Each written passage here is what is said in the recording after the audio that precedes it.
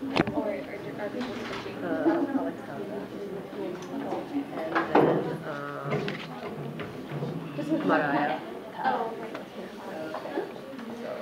And was Jenny. And she was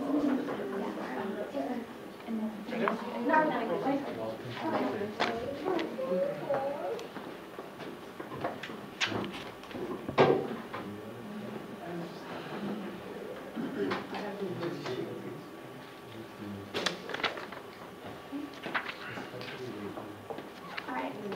Who in the audience considers himself as someone with a sweet tooth? Okay, good. I'm not alone.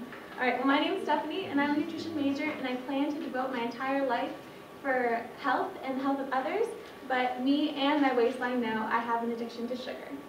Uh, today, we're going to talk about how we get so easily addicted to sugar, why it's so detrimental to your health, and how we can still get our fix.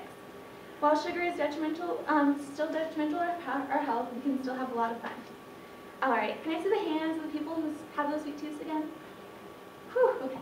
All right, well, guess what? You're just a sweeter person. Studies done by North Dakota University suggest that those with sweet tooth generally have a sweeter disposition. When given a test between a random group of people, they had a choice between a cracker and a piece of chocolate cake, and those who chose the chocolate cake actually um, were more likely to be agreeable, volunteer more, and just be nicer to other people. And the while people who took the cracker were kind of more extroverts, or introverts. Um, all right. Ooh.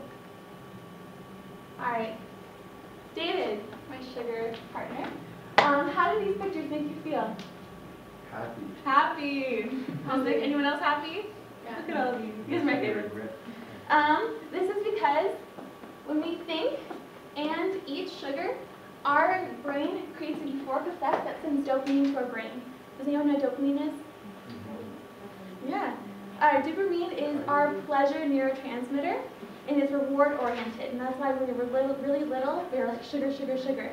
Um, this this is the same neurotransmitter that is released when having cocaine or alcohol as well, and other addictive um, drug, drugs, and that's why it becomes so addictive. But we are not the only ones. The American Heart Association um, suggests that we have 30 to 35 grams per day, and the average American has 95 grams per day. That's 77 pounds in a year of just refined sugar. This is obviously a problem. It's almost three times as much as you should be having.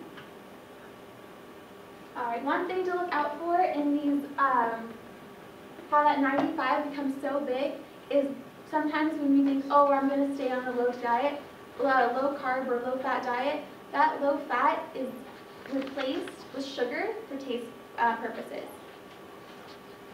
All right. Next, we're going to talk about how that 95 grams affects your body. All right. So pretty much, refined sugar is a mixture of glucose and fructose put together as carbohydrate. And that pancreas is going to take your glucose and secrete it into your insulin. And this insulin is the, pr uh, the primary function of insulin is to absorb glucose and it goes into your blood. And this blood charges up pretty much your fat to be stored for energy for later. Um, and when this energy or this like charged energy is not being used, it's going to lead up to a buildup that's going to give you diabetes. And then the liver is going to take that fructose part and it's going to um, break it down into triglycerides. And that high amount of triglycerides um, also relates to high blood pressure as the Framingham heart study proved. And okay, so this all this fructose leads to a fatty liver. And this fatty liver is going to lead you to cardiovascular disease. People who have a fatty liver have a higher chance of actually dying of a heart disease rather than a liver disease. So it goes from fatty liver to heart disease.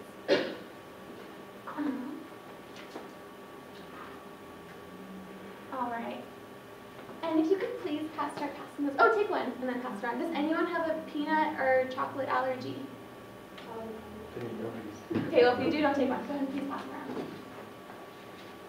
All right, and while you guys are getting all passed around, how many calories do you think are in this, this one serving of Reese's? Like fifty. For both of them? A hundred? No. Uh, probably like, Two hundred. nah, like seventy each. All right, it's actually about two ten. How many grams of sugar do you think are in this one serving of Reese's? No, like fifty, Grams of sugar. thirty, fifteen. Seventeen. Remember, the daily value is about thirty to thirty-five. So how many is, Ten, Oh, wow. right? seven. It's actually about uh, 25.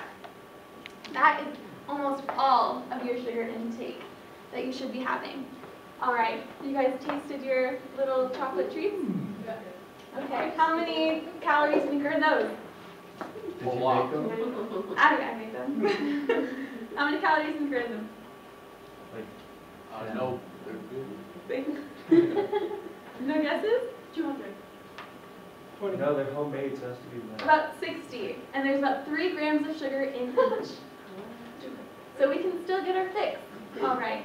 The food you eat can be either the safest and most powerful form of medicine or the slowest form of poison.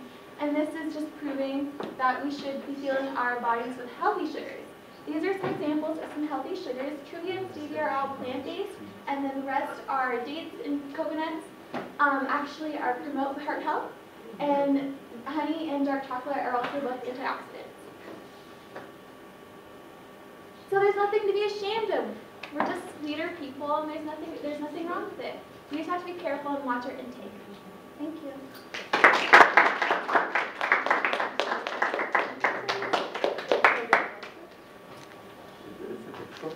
No honey? Huh? In those? Yeah. There's no honey in them.